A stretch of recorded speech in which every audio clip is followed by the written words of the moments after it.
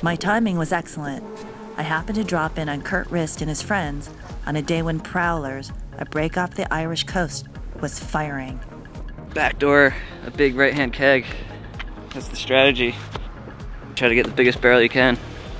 It's the name of the game. What an epic day it was. So big that Aaron Pierce's photo of Kurt went viral overnight, landing him on the cover of the Irish Times. More on the backstory of Kurt, Mullaghmore, Prowlers, the happenings and musings of surfing in Ireland on the next season of Local Style.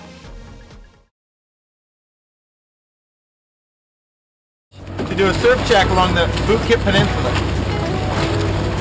Traveling local style.